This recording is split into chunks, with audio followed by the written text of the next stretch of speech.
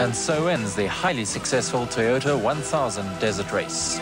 Swaziland and the start of the 1988 Silverline Swazi Spa 500 off-road race, which recently made a welcome return to the South African racing calendar after an absence of one year. Despite the fact that the race boasted no championship status, the event attracted a healthy entry of 27 cars and 77 motorcycles, who prepared to do battle against one another and the Swazi elements north of Mbabane. First away from the line in the short preliminary race on the Friday were the modified saloon cars led by the Volkswagen Beetles of Herman Swart and Jack Roux, the Stothek brothers, Freddie and Francis, kilometers around the Royal Swazi Sun Hotel on the Friday to determine the starting order for the main race the next day.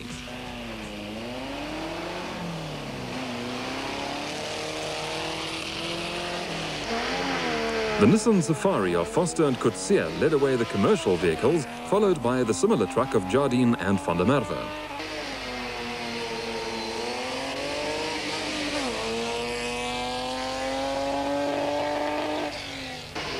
Mulder and Coetzee got going in their Nissan, followed by the SVM Jeep of Peter Barnes and Gus Uys, and the large Toyota Land Cruiser of Robin Lacey and Malcolm Cameron.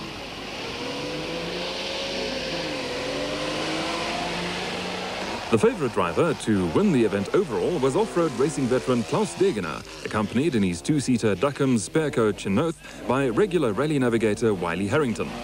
They were soon involved in a tight battle with a Volkswagen of Niels Eriksson.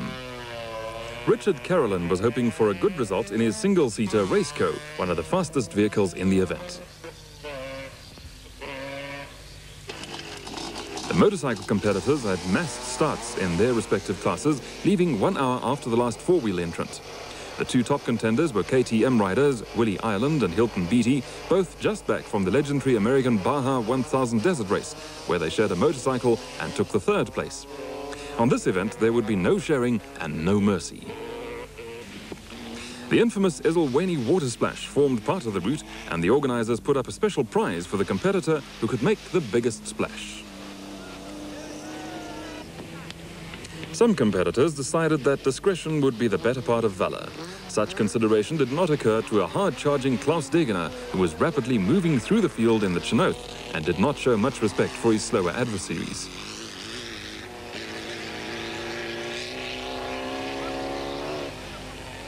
Degener had reason to be in a hurry. Gavin Orbell in his Mototech Hedgehog was also carving through the field in determined fashion, and he would eventually set up the quickest time over the first racing section, beating Degener by 8 seconds. Also in the hunt was Niels Eriksson, manning his two-seater Volkswagen alone and driving to a fine fourth place on the first day, after being narrowly beaten by Richard Carolan, who took matters easy at the water splash in his Raceco. Having started in the first motorcycle group, Kevin Tebbett was the first motorcycle rider to arrive at the water splash. He took the third quickest time for the day.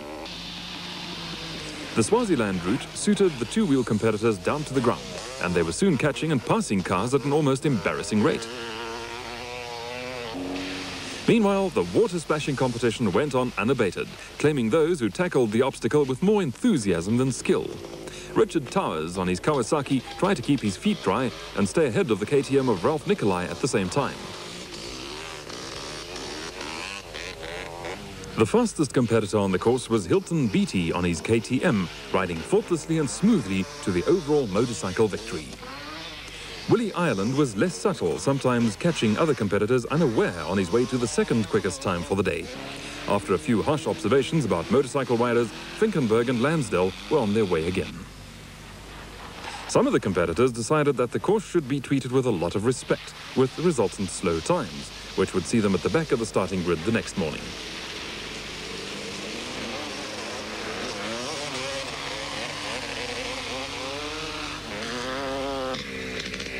While some people took the term off-road racing a little too literally, spending most time off it.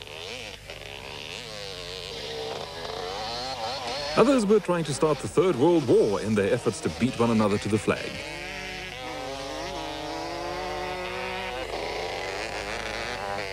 Aspiring fashion model Amanda Penny was one of the three ladies in the race, riding her Kawasaki to the finish line ahead of several male riders. The finish line is always a happy sight in an off-road race, sometimes making life dangerous for the officials when certain competitors forget where the brakes are. Neil Gibbons was on hand to ask various competitors why they were there. Hi, what makes a pretty girl like you being involved in uh, this type of rough and tough and tumble sport? The thrill, the challenge. I enjoy riding in the countryside. We notice that more and more females, pretty females, are entering these type of events. Yeah, brightens up the scene a bit, I think. These off-road machines, especially this Chenoweth, is just something unreal driving it. And I'm almost over the wall. That's all I can do to get even further to this. Good fun. It's better than road running. Away from the wives and the family, mainly. it's the best thing that ever hit the earth. um, keeps me out of mischief. if you're all frustrated or something like that, you can get rid of your frustrations, get the adrenaline pumping a bit, and yeah, it's enjoyable. Maybe we're crazy. I don't know. Following these leaders, Jack Spencer came in sixth in his Sandmaster, ahead of Peter Barnes and Gus Uys in their SVM Jeep, and the Nissan Safari of Leon Jardine and Martin van der Merwe. The sixth motorcycle rider was Kevin DuPont on a KTM, followed by Gavin Nimmo on his Yamaha and Michael Craigie on a Kawasaki. Early the next morning, the competitors were faced with two laps of a 220 kilometer course through some of the most beautiful and exciting off-road terrain in the world. They were led off by Gavin Orbell in his Mototech Hedgehog, followed eight seconds later by Degener and Harrington in the Chenoweth. Richard Carolan left two minutes later in his race car with Niels Eriksson soon in hot pursuit in his two-seater Volkswagen.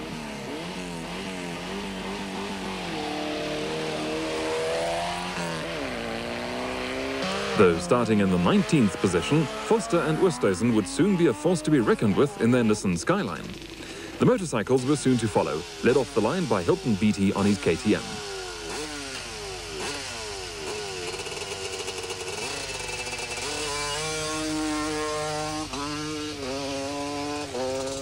Willie Ireland followed in his usual spectacular style.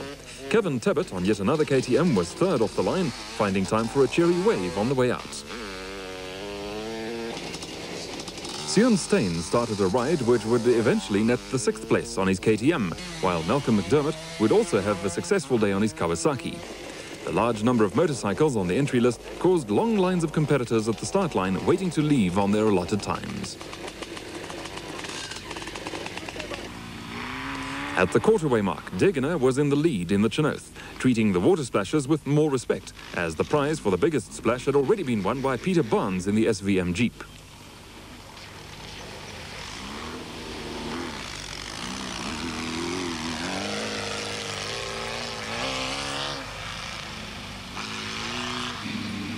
Gavin Orbell was having gearbox problems with the Mototech Hedgehog and would soon retire from the event.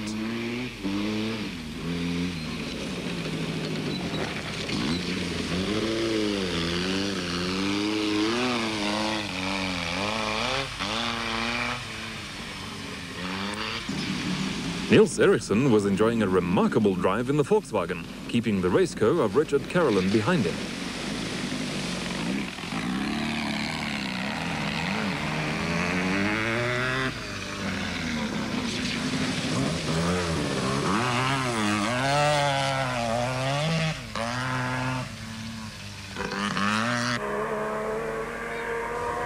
Sections of the route made extremely high speeds possible, leaving competitors very little time to admire the beautiful Swaziland scenery. Foster and Oosthuizen were still on their remarkable comeback trail in the Nissan Safari, making a spectacular sight on the grassy hills.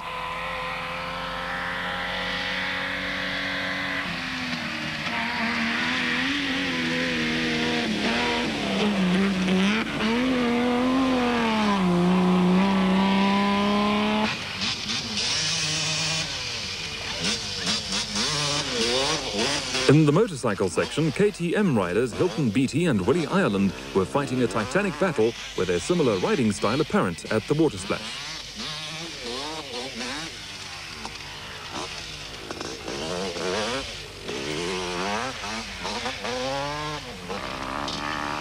Kevin Tebbett was not quite as smooth as the two leaders, but hung on to third place tenaciously on his KTM.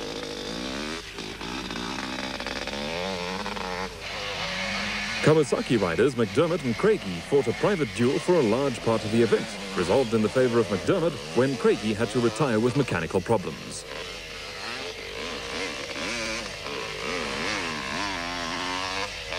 Hodgson, having worked his way up from 11th starting position, was well on his way to an eventual fifth place on his KTM. As is normally the case in Swaziland, the locals were enthusiastic spectators, cheering on every scooter as it went past, while one could get extremely lonely on other parts of the route.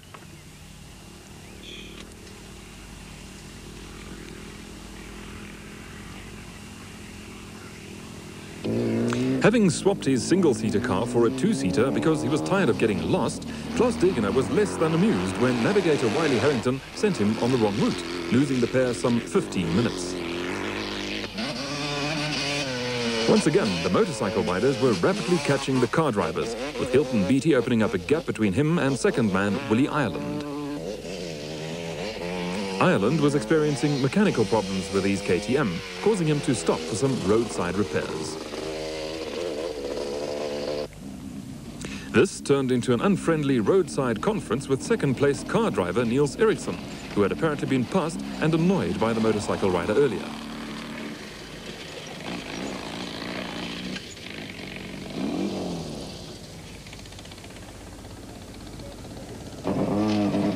Richard Carolan was having a smooth drive in the race car, at this stage holding down the third place in the car category.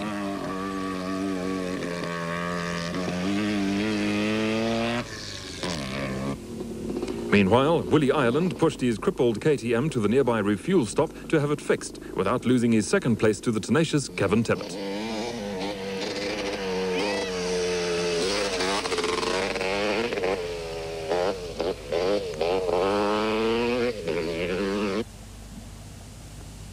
Foster and Oosthuizen were still the heroes of the event in their Nissan Skyline, passing competitor after competitor on their way to an eventual fifth place.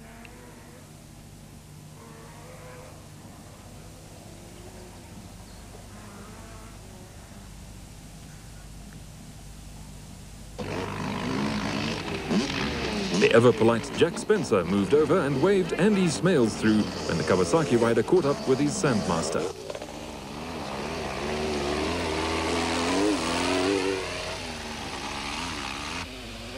Going through the second loop of the route, Hilton Beatty extended his lead further on the KTM, using the rougher parts of the route to full advantage on his well-handling machine.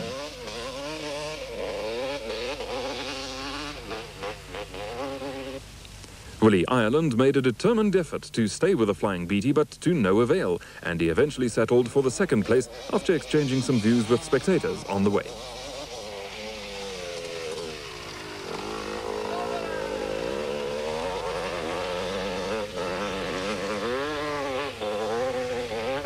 Kevin Tebbett did not have time for a chat as he was busy closing the gap between himself and Ireland.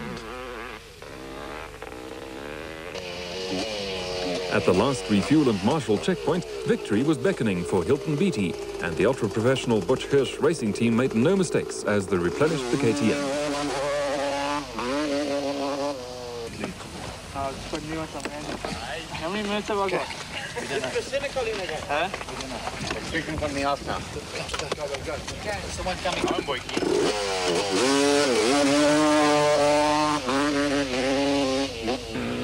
Klaus Degener and Wiley Harrington in the Chenoweth had since built up a lead of 30 minutes over their nearest rivals.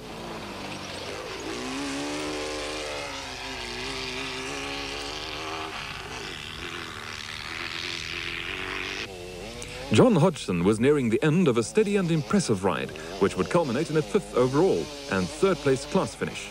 Malcolm McDermott, here just behind Hodgson, managed to get past soon after to clinch the fourth place overall and a class win.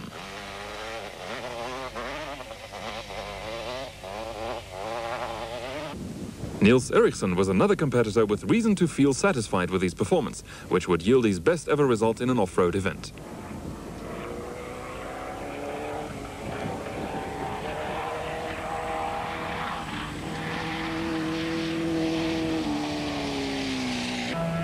Richard Carolan was on his way to a class victory and third place overall in his race after a careful and trouble-free run. The experienced Jack Spencer brought his Sandmaster home in fourth place and won his class, narrowly ahead of the still hard-charging Foster and Oosthuizen in the Nissan Safari, who also took a class win.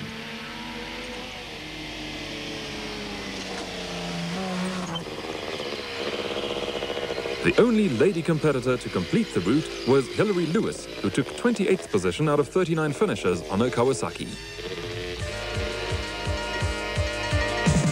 Following the leaders on the screen, the various class winners were Hilton Beattie, Kevin Tebbett, Shane McKinnon, Henry Slubbert, Malcolm McDermott, Errol Dalton, Derek Purcell, with KTM taking the Manufacturers Award. The car class victors were Swart and Brew, Foster and Oosthuizen, Mulder and Coetzee, Degener and Harrington, Carolan and Spencer with Nissan. After Jimmy McRae's emphatic and long-awaited success,